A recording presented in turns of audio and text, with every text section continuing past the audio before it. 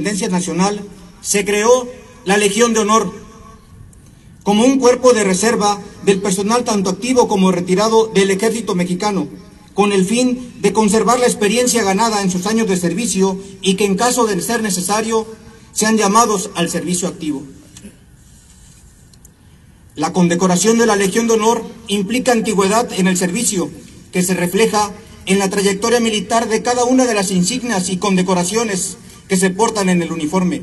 amalgamados con la experiencia de 30 años de servicio ininterrumpido, dentro de los más elevados conceptos de honor, valor, deber, lealtad, aptitud y vocación al servicio de las armas. Es ceñir nuestro actuar al estricto apego a la normatividad vigente y respeto a los derechos humanos, espíritu de cuerpo, profesionalismo y calidad humana, ética militar y naval, espíritu de justicia, disciplina, honradez y abnegación que constituyen al personal militar.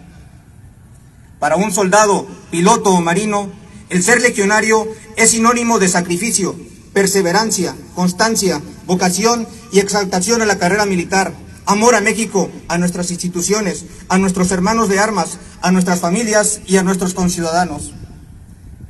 Ser legionario representa no